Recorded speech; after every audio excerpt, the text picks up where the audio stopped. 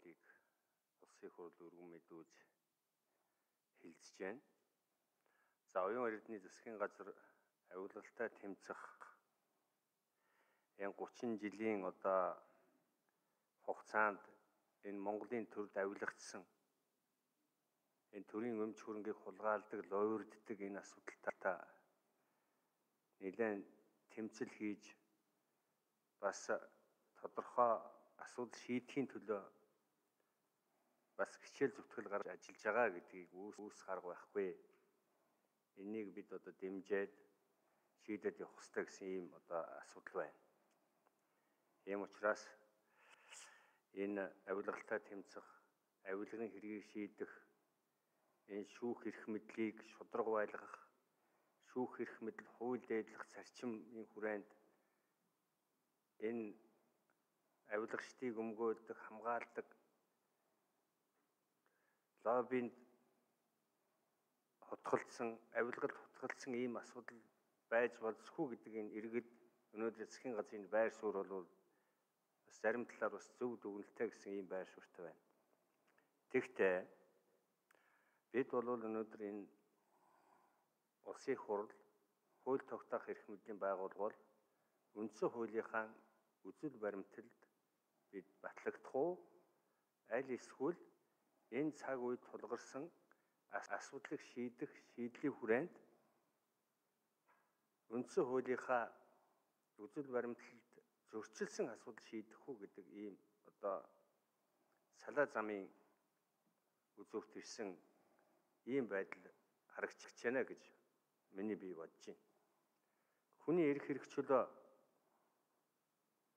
давзаалдах эрхээр хангах асуудал үндсэн хуулинд суусан байна.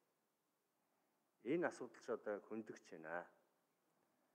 За инх хоёр сайд бид бол Монгол Улсын шүүхийн тухай хуулийг батлагт бас парламентын зарчмын хүрээнд итгэл үнэмшил үзэл бодол маргаж шийдэжсэн. Инх хоёр сайд бол дээд шүүх бол хэрэг маргаан шийдэхгүй. Онол судалгааны шүүх байна гэдэг ийм асуудлыг одоо шүүхийн хуулийн хилцүүлгийн үед одоо үнэлтээр тайлбарлаж энэнийг бол одоо хамгаалж исэн энэ асуудал бол өнөөдөр улсын хурлын хууль хилцсэн түүхэн баримтад байгаа. Гэтэл өнөөдөр яад заавал одоо хяналт давзаалах шатны шүүх хяналтын шатны шүүх ингээд хэрэг маргааныг шийдэх энэ асуудал гарсан гэдэг асуудал байна. Нөгөө талаасаа энэ эрүүгийн хэрэг хянан шийдвэрийн тухай хууль нэмэр төөрчлөлт оруулах тухай хуулинд энэ авилгын хэргийг шийдвэрлэх тийм тусгай журам гэдэг ийм юм оруулж ирсэн байна. Энэ журам гэдэг чи одоо юу гэж ойлгох вэ? Хуулийн асуудлыг журмаар шийдвэрлэж болох уу? Альбаа нийгэмд одоо гарсан одоо тэр авилгалтай тэмцдэг зөв Тэг тэгтээ ингээд энэ журмаар шийдвэрлэн нэг лийн хугацаатай шийдвэрлэнэ гэдэг энэ чинь нэг ямар асуудал вэ? Энд одоо ямар одоо бодлогын үүднээс ямар хууль эрх зүйн үүднээс ийм одоо асуудал оруулж ирж байна гэдэг талаар нэг тайлбар авах шаардлага гарсан байна гэж ойлгож байна.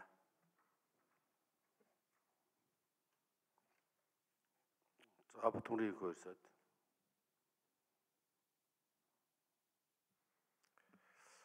За энэ шүүх байгуулах хууль бол Монгол Улсын үндсэн хуулийн хүрээнд орж байгаа.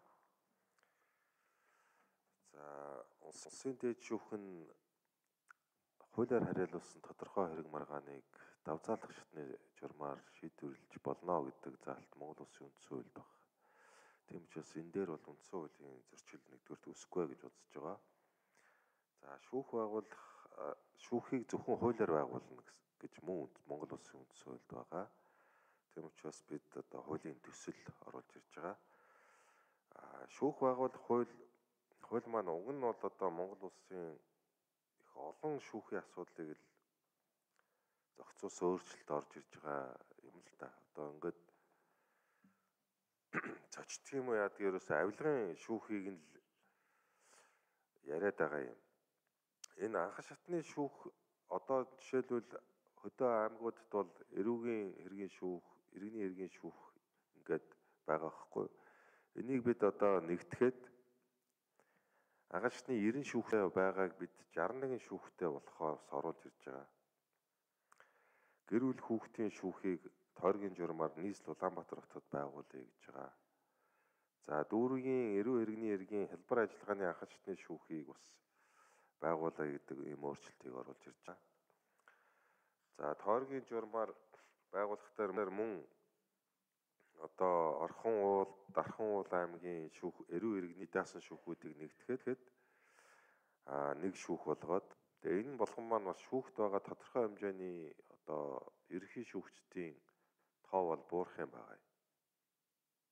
Одоо шүүх бол ингээд томрох биш эсэргээрээ ингэж нэгтгэхэд тэр шүүх болгонд байсан хамгийн дарга нарын чи орон тоо жишээлбэл ингээд хоёр дахин шууд буураа явчих А тийм учраас энэ шүүхийн зардал мөнгөтэй холбоотой асуудлыг ярихдаа би бас ийм одоо ийм данхар байдал дээр нь бас багасгах ийм хувилруудыг болсон оруулж ирсэн байгаа юм аа.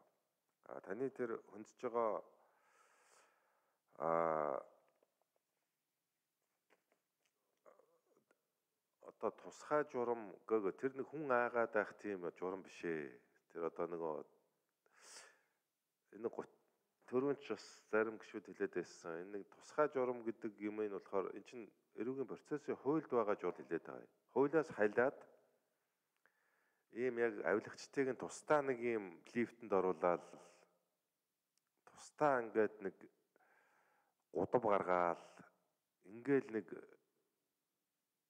шийдэх гээд байна л гэж бод байх шиг байгаа юм да. Энэ ерөөсөө тийм байхгүй байгаа юм шүү дээ. Уг нь хуульд нь.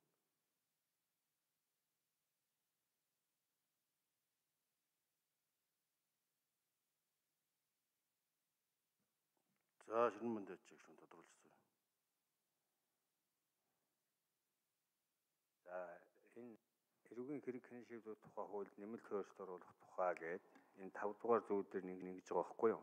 Энэ хуулийн 1-р зүйлийг хоёр заасан буюу эрүүгийн хэрэг хянашуулах тухай хуулийн 17 дугаар бүлгийн 2 дугаар дэд бүлэгт заасан авилгын хэрэг хэн шийдлэх тусгай журамтай холбоотой зохицуултыг 2024 оны 1 сарын 1-ний өдрөөс эхлэн дагж мөрдөх өгөөд 25 оны 1 сарын 1-ний өдөр хүртэл буюу авилгын гэмт хэрэг хэн шийдлэх тухай дагнсан шүүх байгууллагт хүртэл хугацаанд үйлчилнэ л гэд энэ яагаад ингэж нэг жилийн хугацаанд ийм яагаад байгаа юм бэ гэдэг асуудлыг л би асуугаад байна.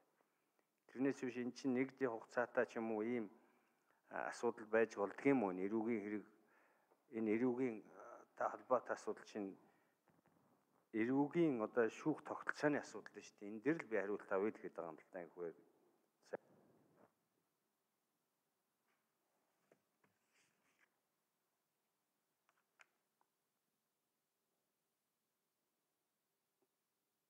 Батбөрийн хоёр сайд.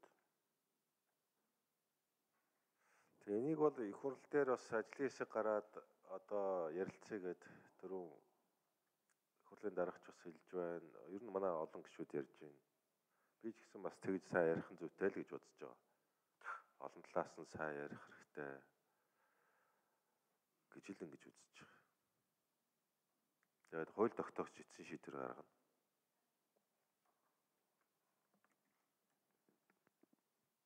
За тэдэн домын мөн шүү. За та бүхэнд энэ өдрийн мэдээг хүргье. За ерөнхийдөө орж ирж байгаа төслийг дэмжиж байгаа. Одоо навлага авилгын хэрэг шийдэгдэггүй энэ